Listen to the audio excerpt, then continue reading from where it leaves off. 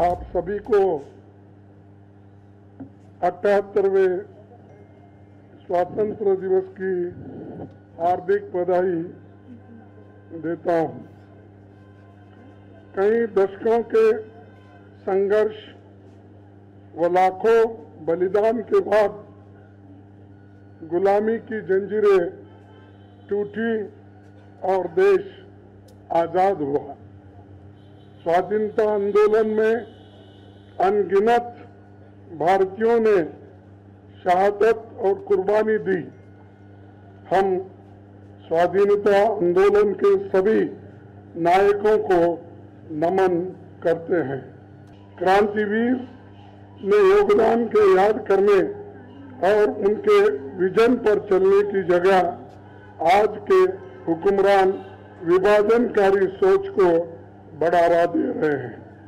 वे केवल नफरत फैलाने की मंशा से विभाजन, विभीषिका दिवस मनाते हैं, जिन्होंने आज़ादी के आंदोलन में भाग नहीं लिया।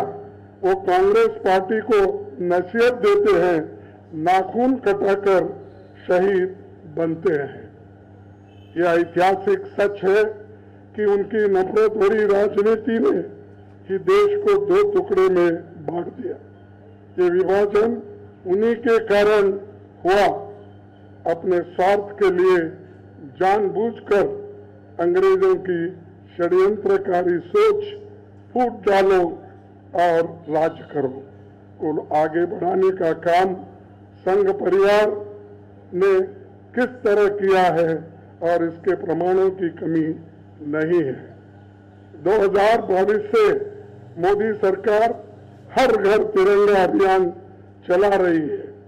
हमें खुशी है कि छह दशक के बाद इनको प्रायश्चित करने की सूझी।